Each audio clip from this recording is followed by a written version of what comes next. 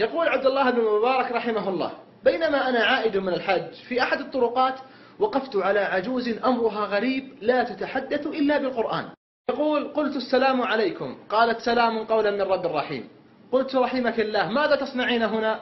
قالت ومن يضلل الله فما له من هاد. قال فعلمت أنها تائهة. قلت أين تريدين؟ قالت سبحان الذي أسرى بعبده ليلا من المسجد الحرام إلى المسجد الأقصى. قلت كم بقيت هنا؟ قالت ثلاث ليال سوية. قال فقلت لها ما أرى معك طعام؟ قالت هو يطعمني ويسقين. قلت من أين تتوضئي؟ قالت فإن لم تجدوا ماء فتيمموا صعيدا طيبا. يقول قلت إن معي طعام فهل لك في الأكل؟ قالت ثم أتم الصيام إلى الليل. قلت هذا ليس شهر رمضان. قالت ومن تطوع خيرا فإن الله شاكر عليم. قال لها قد أبيح الإفطار في السفر. قالت وأن تصوموا خيرا لكم. قال لم لا تكلميني مثل ما أكلمك؟ قالت ما يلفظ من قول إلا لديه رقيب عتيد. قال لها هل أريخ الناقة حتى تركبي؟ قالت وما تفعل من خير يعلمه الله. فأناخ الراحلة لتركب فالتفتت إليه وقالت قل للمؤمنين يغضوا من أبصارهم. قال فصرفت بصري عنها لتركب. قال فأخذت بزمام الناقة وأسرعت في المشي. قالت واقصد في مشيك واغضض من صوتك. قال فبدأت أترنم بالشعر رويدا رويدا. قالت فاقرأوا ما تيسر من القرآن.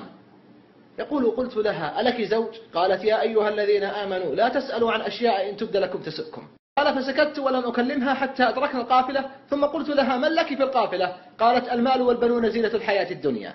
يقول فعلمت أن لها أبناء في القافلة. فقلت وما عملهم؟ قالت وعلامات وبالنجم هم يهتدون. قال فعلمت أنهم أدلاء الركب. فقلت وما أسماء أبنائك؟ قالت واتخذ الله إبراهيم خليلا وكلم الله موسى تكليما. يا يحيى خذ الكتاب بقوة. قال فناديت يا إبراهيم يا موسى يا يحيى. قال فخرج أبناؤها كأنهم أقمار.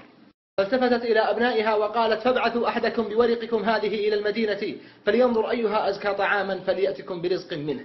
قال فمضى أحدهم وأتى بطعام وقدمه بين يدي ثم قالت لي كلوا واشربوا هنيئا بما أسلفتم في الأيام الخالية. يقول عبد الله بن المبارك فقلت طعامكم هذا حرام علي حتى تخبروني بشأن أمكم. فقالوا هذه أمنا منذ أربعين سنة لا تتكلم إلا بالقرآن مخافة أن تزل فينزل عليها غضب الرحمن.